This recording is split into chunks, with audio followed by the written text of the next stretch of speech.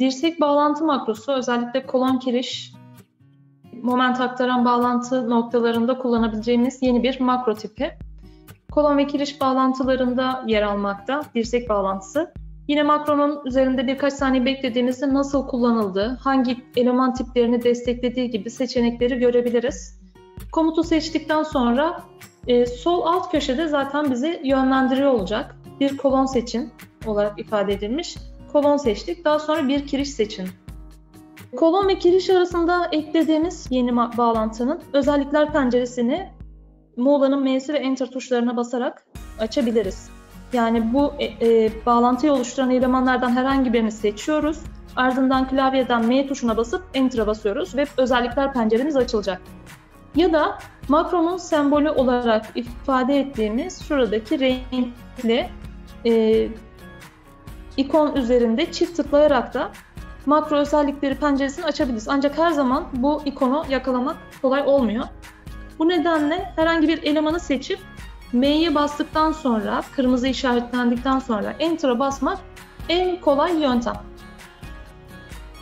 Özellikler penceresini açtığımızda civataların yerleşim seçeneklerini görüyoruz. Örneğin burada birkaç civata e, yerleşim ayarında değişiklik yapalım.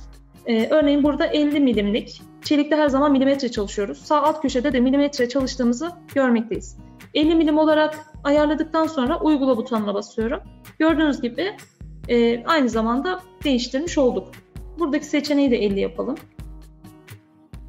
Eğer araya e, eğer burada iki tane civata eklemek istersem buradaki mesafeyi de düzenliyorum. 50'ye herhangi bir değer yazmazsak yani sıfır olarak kabul edersek e, çift civata yerine tek civata ekleyerek devam eder. Diğer seçenekleri de ekleyebiliriz. Burada da 80 milim e, olarak uygulamamızı yapalım. Yine alt köşede de e, sarı olarak belirtilmiş plaka e, görselde turkuaz renkli plakayı temsil etmekte. Buna göre e, yerleşim ayarlarını yapabiliriz. Yine sağ ve sola civata ayarlarını da bu bölümden yapıyoruz. Örneğin burada da 80 milim olarak ayarlayalım.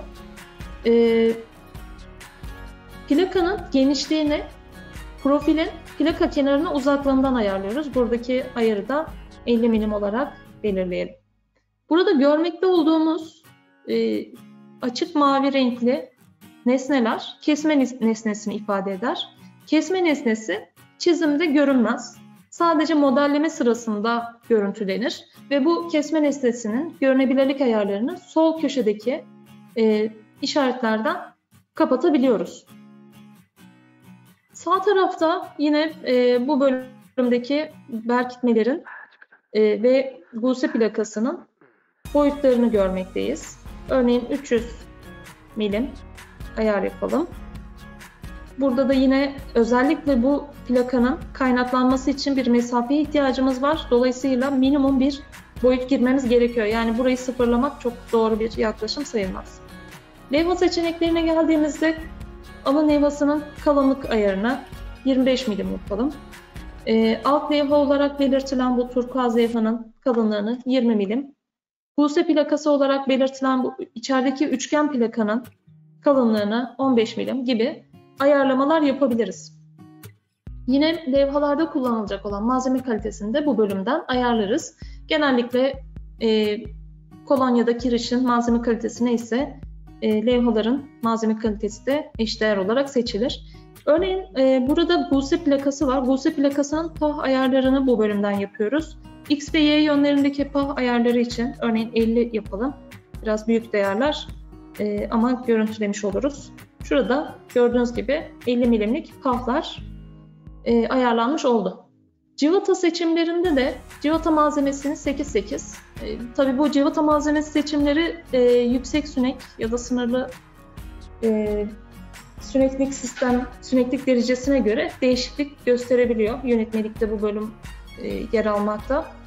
Civata takımını 8-8 olarak belirleyelim. Civata çapını da 20 milim olarak belirliyorum. Civata toleransı, pardon delik toleransı da çok önemli. Yine yönetmelikte her bir civata çapına uygun olarak belirlenmiş toleranslar var. Belli limitler dahilinde 2 milim, belli limitten sonra 3 milime çıkıyor şeklinde. Burada 20 için 2 milim uygun olacaktır. Tamam diyoruz. Bu şekilde uygulamalarımızı yapabiliriz. E, montaj yeri bu e, civatalar için varsayılan olarak saha olarak kabul edilir.